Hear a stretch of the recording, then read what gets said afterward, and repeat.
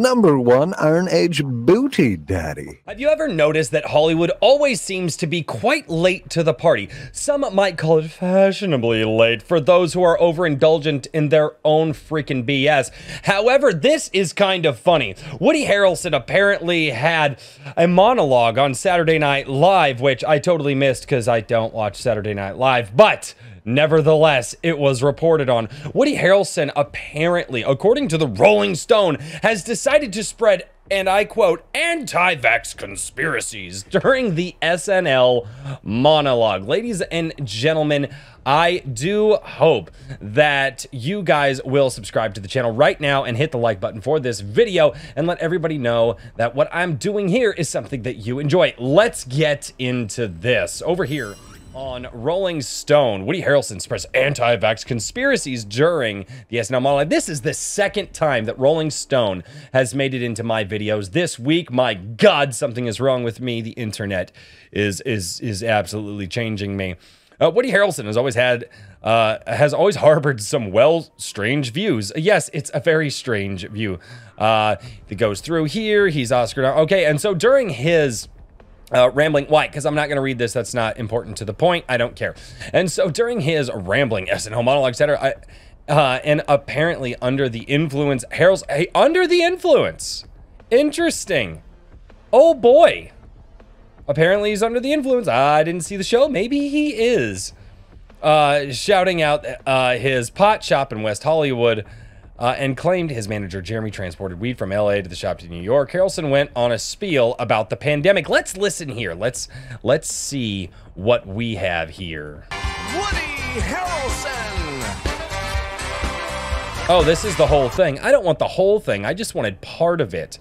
But anyway, the self-proclaimed anarchist joked about a supposed movie script, a clear metaphor for the pandemic that went the biggest drug cartels in the world get together and buy up all the media and all the politicians and force all the people in the world to stay locked in their homes and people can only come out if they take the cars cartel's drugs and keep taking them over and over.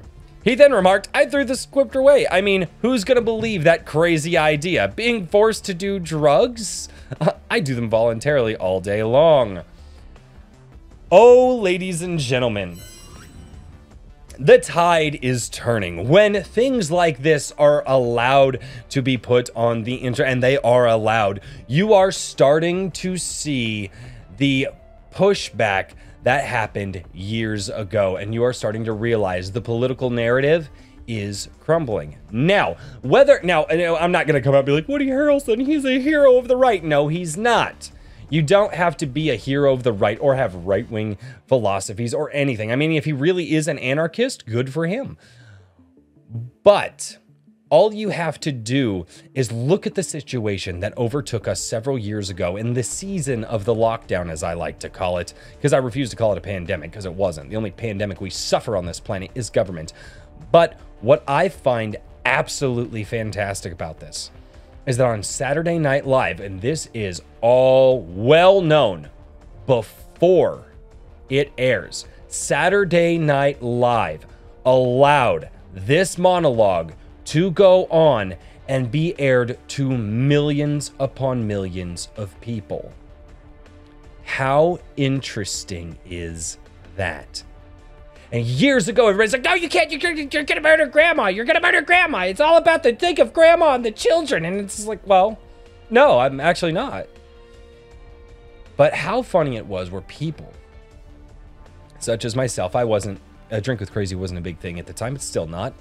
But I wasn't saying it on the internet, maybe with some friends of mine, private conversations. We're all saying, and this is insane. You have to take something, you have to take a medical procedure, and that's what this is, right? We call it, you know, call it the, the jab, but it is a medical, procedure. you have to take a medical procedure in order to participate in polite society. And all of a sudden, it went too far. Now, I personally believe that all of this is going to be geared in such a way to blame Trump when he comes out, uh, when he really starts pushing forward, right? You've already started to see all the political talking points change. The Democrats are changing on this. There's now all of a sudden all these places are calling out the bad jabs that are coming out and how there are medical issues with all that stuff. And the interesting part about all this is I think that Donald J. Trump, the guy who pushed the vaccine, I can even say that word, is going to get annihilated for it. So, ladies and gentlemen, I want you to witness the beginning of the clown show. Something all of us knew for years. This is wrong. You shouldn't be doing this to people. The best way to stay healthy is to go out, get some sunshine, get some exercise, try to eat healthy, and live your life. We all knew this. We were told we were wrong. We were told we didn't know what we were talking about. And we were and they tried to silence people like myself. They tried to silence many people. But ladies and gentlemen, now the mainstream media is allowing their celebrities to speak out on this on national television. Think about that for a second and think about how that is going to impact the next coming political season. So, ladies and gentlemen, thank you so much for checking out A Drink with Crazy. I do hope that you guys enjoy what I am doing here. You enjoy my style, and hopefully, you guys stick around to see more. But never forget, if you guys decide to comment down below, I dedicate a special live stream every Sunday. It's called Sunday Coffee, where I read all of your comments on my videos and I give you guys my real reactions. You may disagree with me, you may not. But nevertheless, if you dedicate time to me, I will dedicate time right back to you.